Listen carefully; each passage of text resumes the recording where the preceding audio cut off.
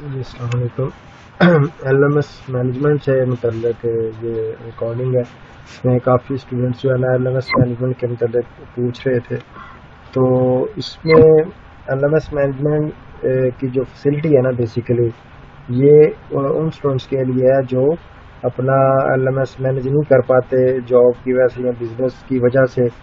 तो उनके लिए यानी कि ये जो फैसिलिटी है ना, वो रखी हुई है और इंतहाई रीज़नेबल अमाउंट के अंदर। ताकि स्टूडेंट की जो एक्टिविटीज़ वो एक्सपायर्ड ना हो। और इसमें जो ये मतलब दो किस्म की एल मैनेजमेंट होती है। ये वो है जो किसी मजबूरी की कंडीशन के अंदर आप एल मैनेज करवाते हो। एक एल मैनेजमेंट होती है जिसमें मार्क्स की आप फिक्स परसेंटेज कर लेते हो। जी, मेरे अस्सी परसेंट नब्बे परसेंट मार्क्स आएँगे तो मैंने इतना पे करना है, ठीक है ना? वो वाली एल मैनेजमेंट ये नहीं है। ये जस्ट वो उनके लिए जिनकी कोई मजबूरी की वजह से जॉब या खुशी गमी की वजह से या बिज़नेस पर्पज में बिज़ी रहते हैं एक्टिविटीज़ में तो एल को टाइम नहीं दे पाते ठीक है ना? तो उनके लिए ये एल मैनेजमेंट की फैसिलिटी है और इंतहाई एक रीज़नेबल अमाउंट जो daily twenty twenty five rupees तकरीबन बनती है। इसमें ये चंद एक जो है ना कंडीशंस हैं मतलब के जो के लागू होगी एल एम एस मैनेजर के लिए जिसको मैंने हायर करना है एल एम एस मैनेजर जो है वो, उस पर लागू होंगी और स्टूडेंट के ऊपर। यानी कि इसमें समटाइम होता है व्यू का जो सर्वर होता है ना मेन सर्वर वो बड़ी गड़बड़ करता है, वो लॉग इन ही नहीं करता, ठीक है ना? अगर इन डैड केस कोई एक्सपायर्ड हो गई चीज़ तो एल एम एस हैंडल करने वाले की कोई ज़िम्मेदारी नहीं होगी, ठीक है ना? तो ऐसी जो कंडीशन होती है ना, इसमें नॉर्मली डेट एक्सटेंड हो जाती है, ठीक है ना? बाकी एलएमएस मैनेज करने वाला रोज़ाना आपका एल लॉग इन करेगा चेक करेगा, जो भी चीज़ें आएँगी, उसको within due date submit करने का वो पाबंद है। इन दैट केस अगर वो नहीं करता कोई एक्टिविटी सबमिट तो टू हंड्रेड उसको फाइन होगा पर एक्टिविटी ठीक है ना? रूटीन वाली चीज़ें ही वो सबमिट करेगा। और कोई स्पेशल क्विज या असाइनमेंट वगैरह अगर आती है लाइक दैट ग्रैंड क्विज वगैरह, इस तरह की चीज़ें, वो इस एलएमएस मैनेजमेंट का हिस्सा नहीं होगी। अगर स्टूडेंट ने पासवर्ड चेंज कर लिया और कोई चीज़ एक्सपायर्ड हो गई तो इन दैट केस भी जो है ना एल हैंडलर की कोई ज़िम्मेदारी नहीं होगी। ठीक है ना? क्योंकि स्टूडेंट पासवर्ड चेंज कर लेते हैं, बताते भी नहीं। तो इसलिए ये भी टर्म एंड कंडीशन में ऐड किया मैंने। मार्क्स की इसके अंदर कोई शॉर्टेज नहीं होती। वर्चुअल के अंदर 95 परसेंट जो स्टूडेंट्स है ना नेट वाले सोल्यूशन ही सबमिट करते हैं इंटरनेट वाले। 99 परसेंट के स्टूडेंट्स उसमें चंद एक सुपरवाइजर हैं टीचर जिस तरह M G T five zero one M G T three zero one M G T पाँच सौ दस इस तरह के जो टीचर्स हैं ना, वो कहते हैं कि टोटली यूनिक सोल्यूशन हो तो इस तरह की कोई पॉसिबिलिटी नहीं है। ठीक है ना, मैंने इसमें मतलब कुछ सोल्यूशन चेंज करके भी सबमिट करा के देखे हैं, लेकिन नहीं। वो कहते हैं हंड्रेड परसेंट यूनिक हो। तो ऐसा नहीं होगा। सोल्यूशन सारे नेट वाले ही होंगे। हल्की फुल्की चेंजिंग में भी पॉसिबल है। वो मैं करवा के सबमिट करवा दिया करूँगा। बाकी डिपेंड करेगा टीचर आपको मार्क्स देता है या नहीं देता। ठीक है ना? इसमें अब अब कोडिंग जो होती है सी एस के सब्जेक्ट्स की और मैथ के मैथ की क्वेश्चन देख सबकी सेम होती है वो सोल्यूशन ना। उस पर भी चंद एक टीचर अब जो है ना, वो कॉपी पेस्ट का इशू लगाने लग गए हैं। हालाँकि उस पर तो होना नहीं चाहिए, वो सबकी सेम होती है। तो इसीलिए जो मार्क्स की छोटी है ना, इसके अंदर नहीं होगी। लेकिन इसका मतलब ये नहीं है कि ज़ीरो ज़ीरो नहीं। वो मैं ग्रेड्स आपको अभी शो करा दूँगा, जो आते रहे हैं स्टूडेंट्स के। तो अच्छा इसमें एक और चीज़ एल एम एस मैंने जो है ना, बेशक वन डे करवाओ या पूरा मंथ करवाओ, ठीक है ना? चाहे एक बुक है या सात बुक्स है फ़ीस आपकी पूरी ही चार्ज होगी। और जो जिस, जो स्टूडेंट जिस महीने के अंदर रजिस्टर्ड होगा, वो उसी के चार्जेस ही पे करेगा। मसलन अगर छः सौ रुपये मई के मंथ की फ़ीस है तो वो एंड सितंबर तक छः सौ ही पे करेगा, ठीक है ना? जून की अगर आठ सौ है तो अगर जून में कोई रजिस्टर होता है बंदा तो वो आठ सौ के हिसाब से ही हर मंथ पे करेगा। और वो जो फ़ीस होगी ना वो उस महीने की लास्ट डेट तक ही एप्लीकेबल होगी, उसके बाद उसका तलाक नहीं होगा, ठीक है ना? और फ्रेश मंथ के first three days unpaid students का all free of cost manage होगा, लेकिन अगर किसी ने फ़ीस ना पे की तो उसकी वो रिमूव हो जाएगा एल से कोई चीज़ एक्सपायर्ड होगी तो स्टूडेंट फिर जो है ना उस पर ब्लेम नहीं कर सकता। इंटरनेट या इलेक्ट्रिसिटी का ब्रेकडाउन समटाइम बहुत बड़े लेवल पे हो जाता है तो इन दैट केस जो है ना भी पॉसिबल नहीं होता एल सारे चेक होना। तो कोई चीज़ अगर एक्सपायर्ड होगी तो इसमें भी एलिमेंट्स हैंडल करने वाले की कोई ज़िम्मेदारी नहीं होगी। नॉर्मली ऐसा होता नहीं, लेकिन बहुत कम ऐसा होता है समटाइम तो फिर भी वो डेट एक्सटेंड कर देते होते वाले। तो बस यही एलिमेंट्स हैंडल करने वाले की जो है ना ज़िम्मेदारी होंगी। और बाकी स्टूडेंट वेन एवर ही और शी वांट जो अपना एल जो है ना वापस ले सकता है।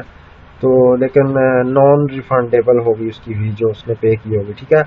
बाकी लास्ट चीज़ सी एस चार सौ ग्यारह और पाँच सौ आठ और मैथ टाइप सॉफ्टवेयर जो मतलब कुछ सॉफ्टवेयर हैं, बहुत हैवी किस्म के, जिस तरह विजुअल स्टूडियो फोर लेवन वाली असाइनमेंट इस तरह के, वो अक्सर अवकात जो है ना, वो मतलब उसमें असाइनमेंट बनती ही नहीं है, ठीक है ना, वो सॉफ्टवेयर जो है ना, वो काम नहीं करते। तो इन दैट केस अगर कोई इशू बना सॉफ्टवेयर में और कोई असाइनमेंट उसमें प्रॉपरली ना बन पाई या बिल्कुल भी ना बन पाई तो उसमें भी एल हैंडल करने वाले की कोई ज़िम्मेदारी नहीं होगी, ठीक है?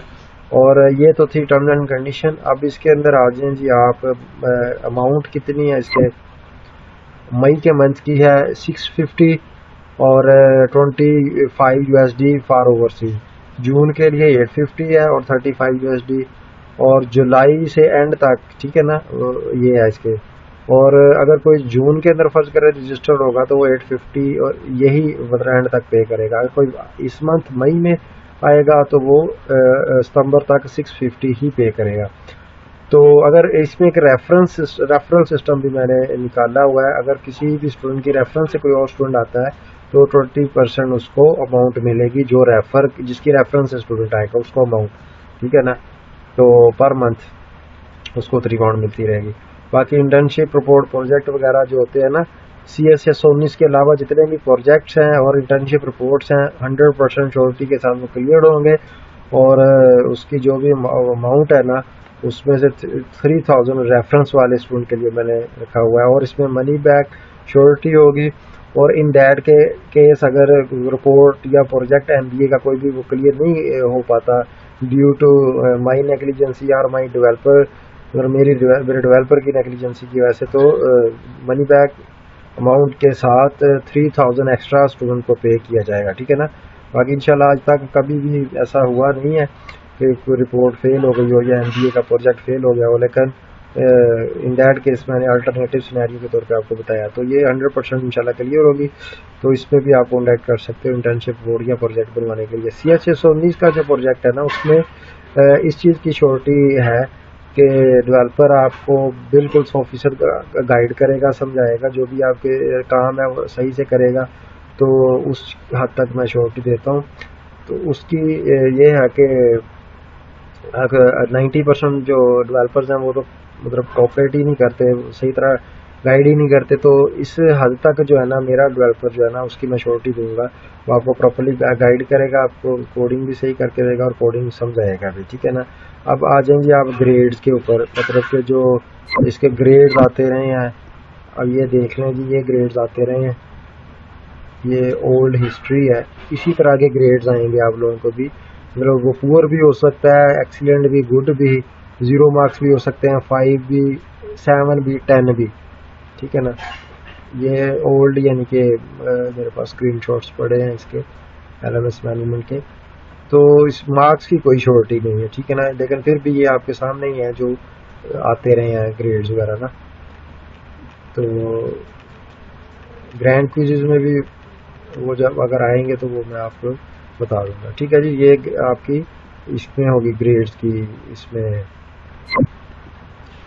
ठीक है जी, ये ग्रेड्स की भी आपको मैंने इसमें सारी शो करा दिया तो बाकी इसमें ना ये कॉन्टैक्ट नंबर वगैरह और ईमेल है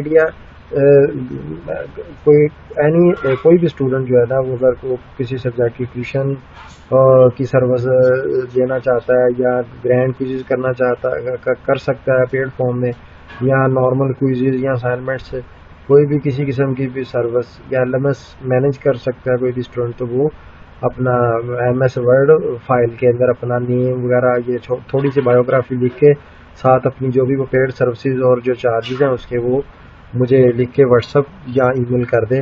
जब भी कोई ज़रूरत पड़ी तो उसको मैं स्टूडेंट को जो है ना, वो हायर कर लूँगा। ठीक है ना?